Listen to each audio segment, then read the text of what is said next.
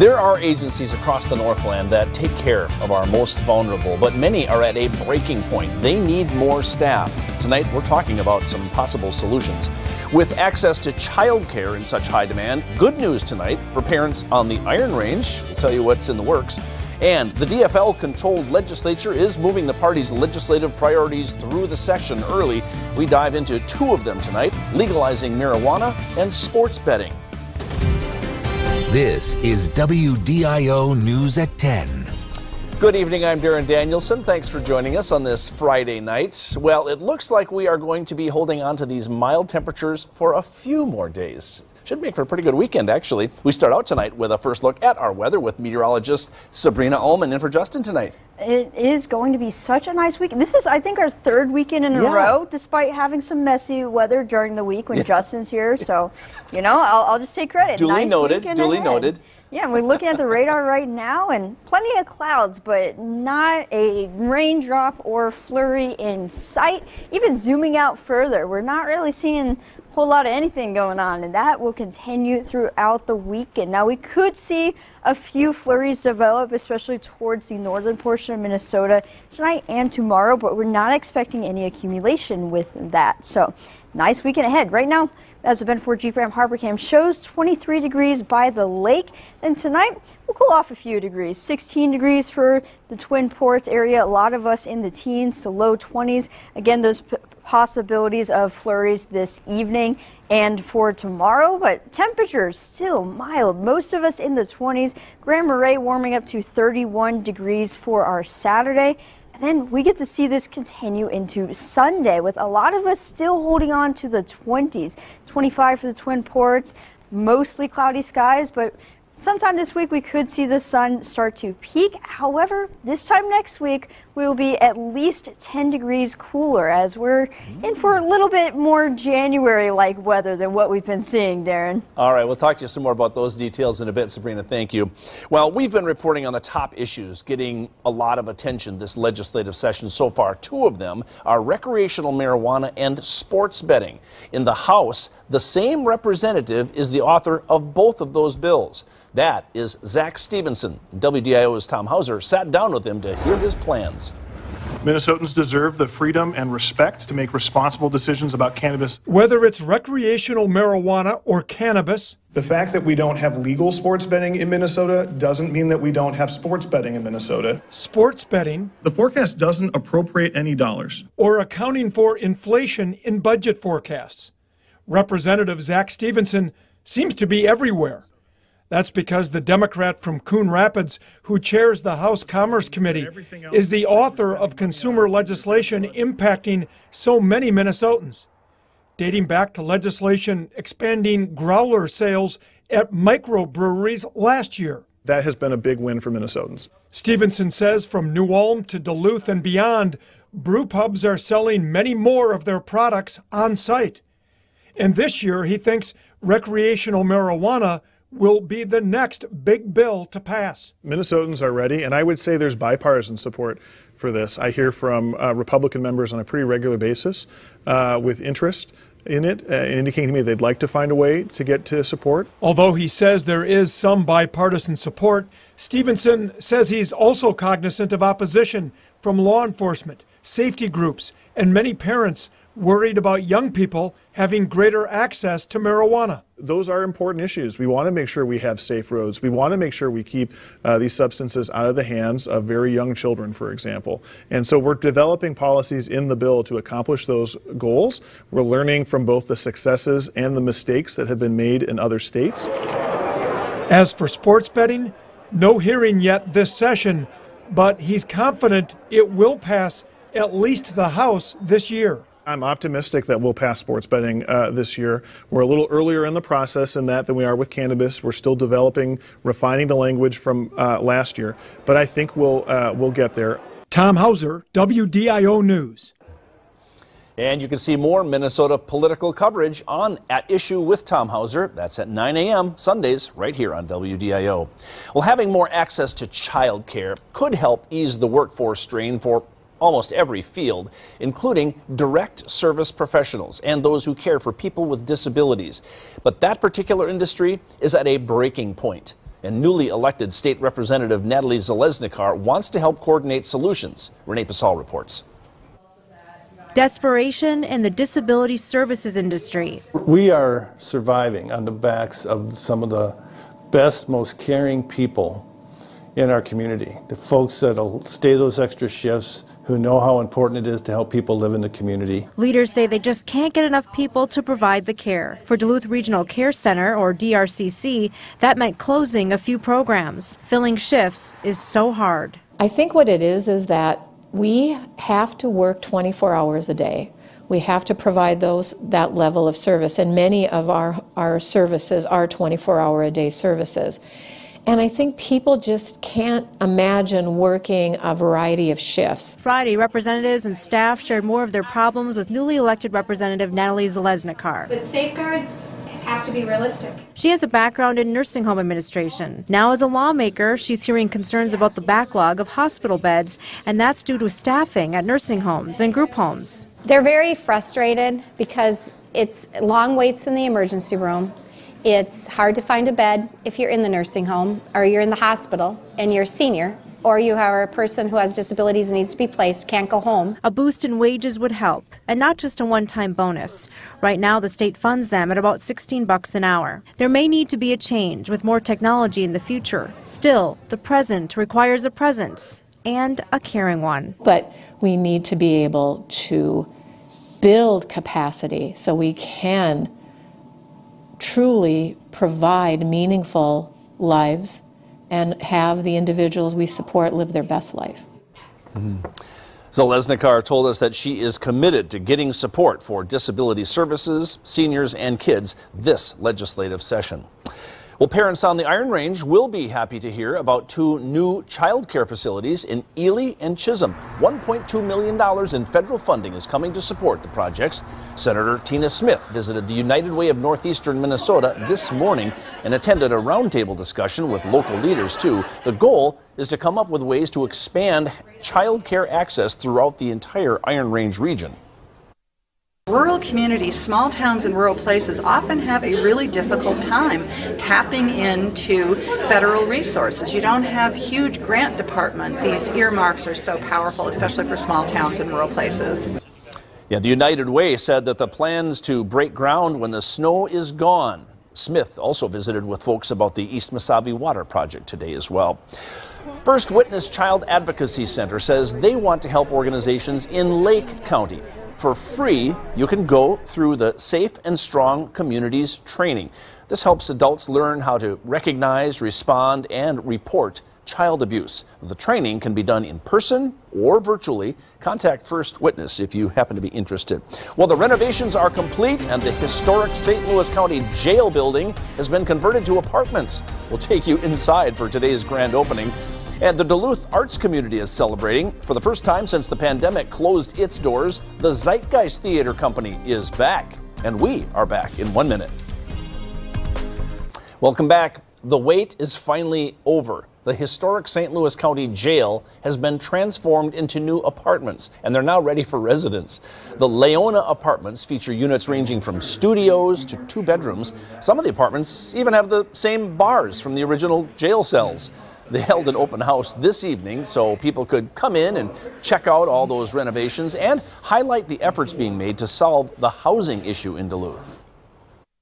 We also see in stark relief how the opportunities and challenges before us in housing and other areas of community life can best be addressed, and in some cases can only be addressed with approaches that bring together what the public and the private sectors each do.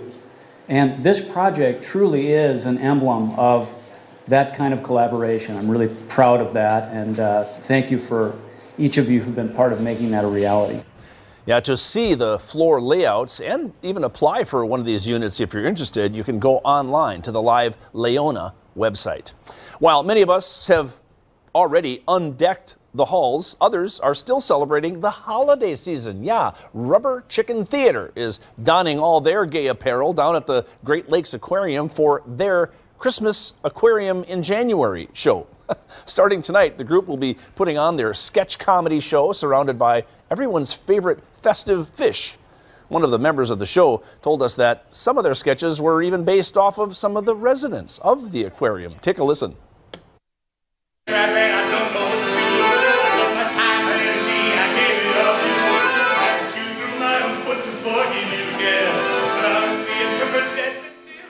The festivities, festivities will continue tomorrow night, too, by the way, as well as Friday and Saturday next weekend. If you want tickets before they sell out, we have a link at WDIO.com. You know, WDIO has celebrated and collaborated with Rubber Chicken Theater before, and that group is a lot of fun to hang around with. But outdoors is probably where a lot of people are going to be hanging out this weekend. Oh, definitely. This weekend is yeah. yet another weekend where you want to get outside yeah. and enjoy this wonderful weather.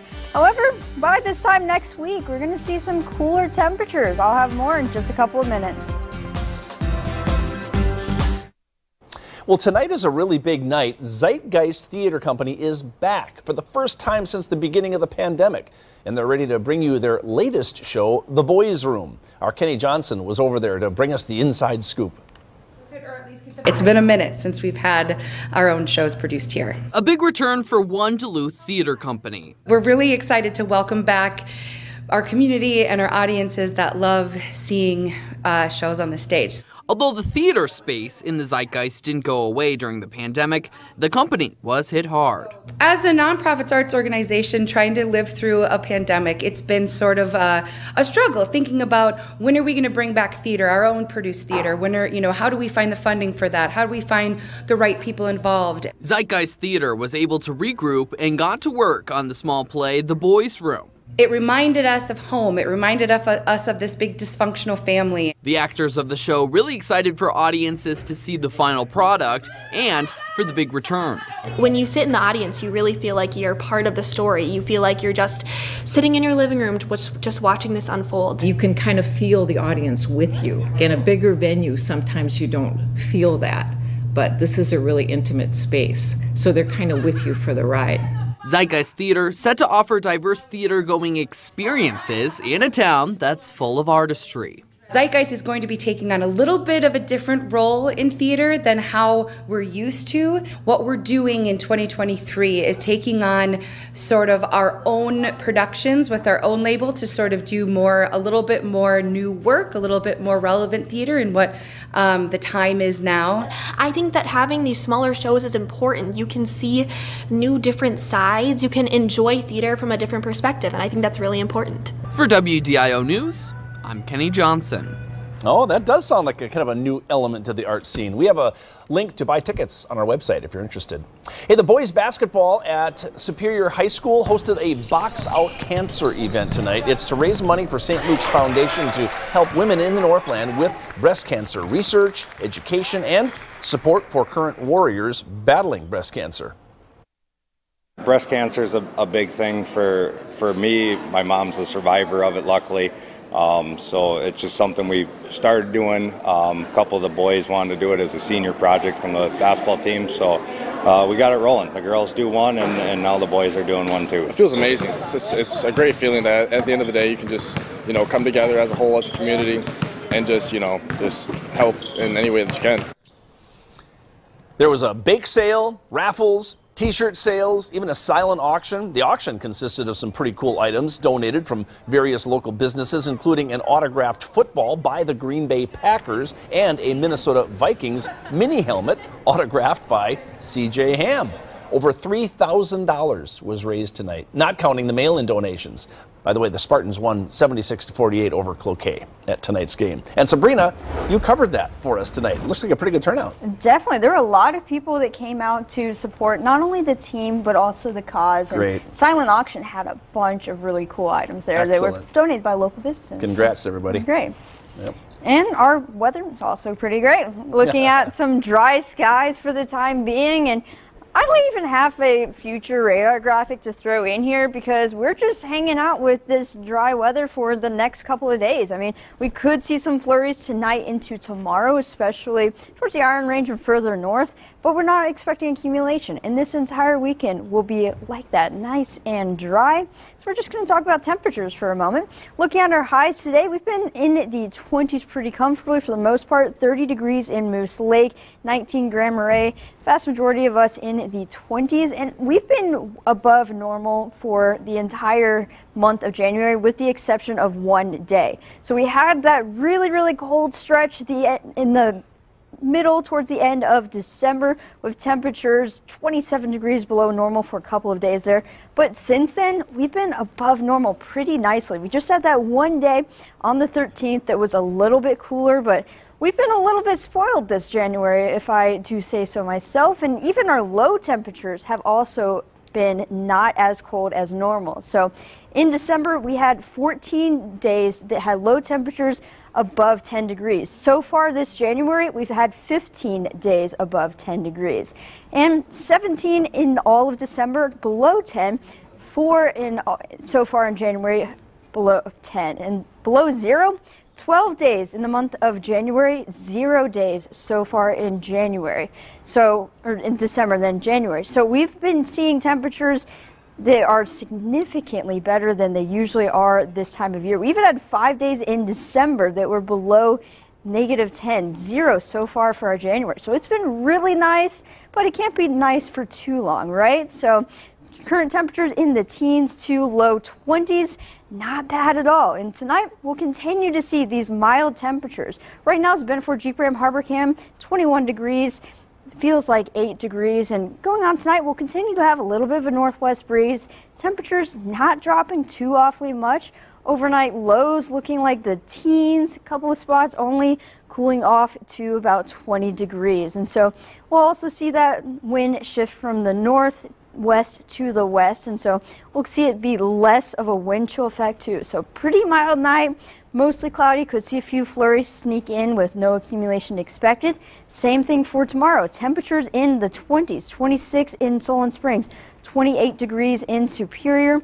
Mostly cloudy, but we're staying dry at least. Grand Marais even warming up to 31 degrees. So our Saturday, nice and warm. Temperatures in the 20s. Sunday, we're looking at another mild day with temperatures still slightly cooler than Saturday, but we're still hanging out in the 20s. It's still really nice for January. It's not until around this time next week that we'll see those temperatures start to drop. So tomorrow, a little bit of flurries, not expecting accumulation with that.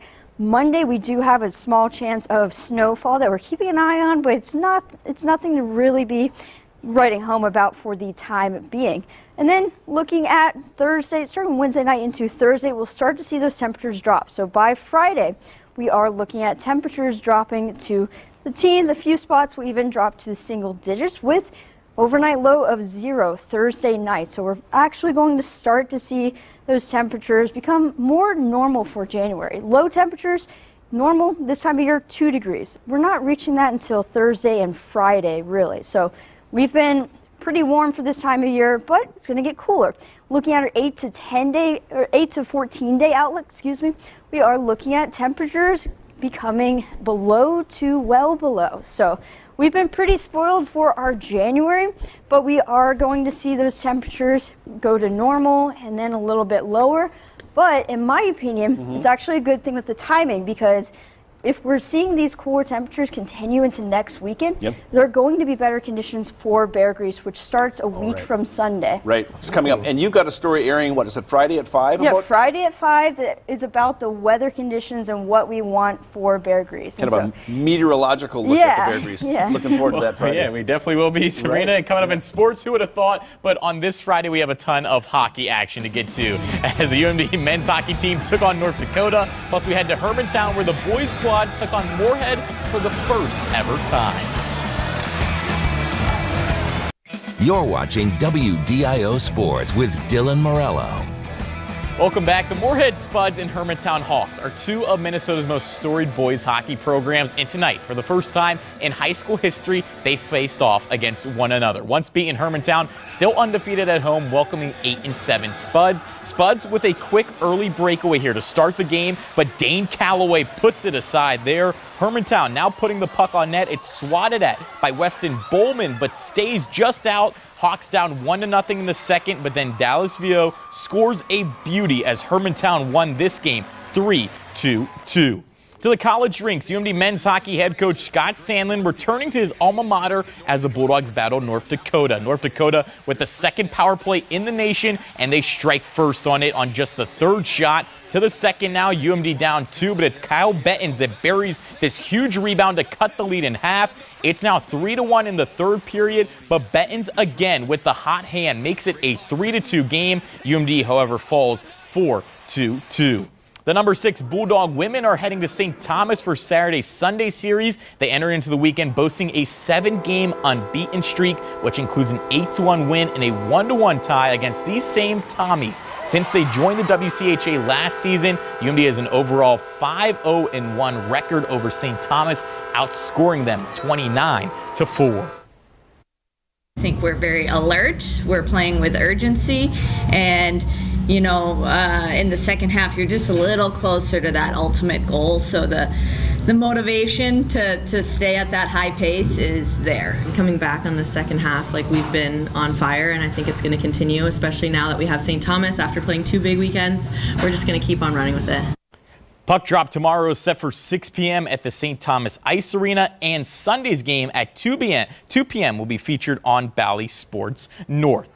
Senior night for the CSS women opening a home and home series with St. Olaf. Pick it up in the first. A nice little flip to herself in goal by Jessica Warnilly makes it 1-0 Oles. A few minutes later, the Saints, though, they're going to throw this one on front, and Hanley Block tickles the twine, making the score 1-1. CSS still applying the pressure after that, feeding it into the middle, and Abby Polkamp all alone, but that doesn't work as CSS falls in this one by the final of 4-2. Their only two losses have come on the road, and tonight Esko boys basketball returns home to protect their house and restart their win streak. 8-2 Eskomos ranked 10th in Class 2A, hosting Moose Lake Willow River on a two-game hot streak. Getting things started, it's Eskomos McCoy Parrish with the dish to Braylon Mail for the dunk with some added hang time. Rebels Nolan Nelson splits two defenders for the bucket here. Then it's Esko's Carter Zazulka with some magic of his own with the floater and scores. It's 11 to 3 Eskomos. Rebels Luke Dewey with the layup for two here. And then Jacob Randa from the corner, and it's good. Esko wins 89 to 59. In Superior, UWS men's basketball hunting for their seventh straight win, hosting Northwestern Yellow Jackets. Javon Walker thinking about where to take this shot. He finds a spot and gets the bucket. Eagles then. Seth Fuka with the top of the key, and it's good for the three. It's going to be 14 to 13 Yellow Jackets trail. A few possessions later, Eagles Ryan Schneider passes it to Caleb Holden, and he sinks the jumper. Walker again, and this time he drains his 0-3, own 3. UWS wins 57 to 54. Both the UMD men and women's basketball teams trekked out to Sioux Falls today. The 13th ranked Bulldogs women won their 11th game in a row by the final of 66 to 40, while for the men's squad, they got back in the win column today with a 68 to 53 win. So 11 wins in a row for the UMD Ooh. women. Uh, it's a team to be looking out for everybody else. Sioux Falls is a long way to go, but yeah. you come back with two W's, it ain't bad. No, not bad at all. We'll be right back. Well, we've been pretty lucky with our weekend weather lately. We have. It's yeah. been super nice, and like we're still looking at some mild temperatures throughout the weekend. And we could see a few flurries sneak in, but not looking at accumulation. Temperatures mostly in the upper 20s, with a few spots even reaching the low 30s towards Cook County. Sunday, slightly cooler, but still nicely in the 20s. Wow. So no complaints from the weather department, that's for sure. plenty, uh, plenty of things to do outdoors because yeah. we got plenty of snow to do it and we got good temperatures to do it. But if you happen to be interested in doing something indoors tomorrow, there's another Saturday morning at the races that gives your kids a chance to get their run on. UMD is the place that this one is going to be held. Registration starts at 9 a.m. tomorrow morning. And then the races actually get going at 10 a.m. The youngest runners go first, all the way up to age 14. And it's free, it's totally free. So bring the whole family down to UMD for Saturday morning at the races. Oh, yeah. To see it. Indoors or outdoors, you got plenty of plenty, plenty to of do this week. Plenty of things to choose from. That is WDIO News at 10. Thanks for being with us all this week. Have a great weekend.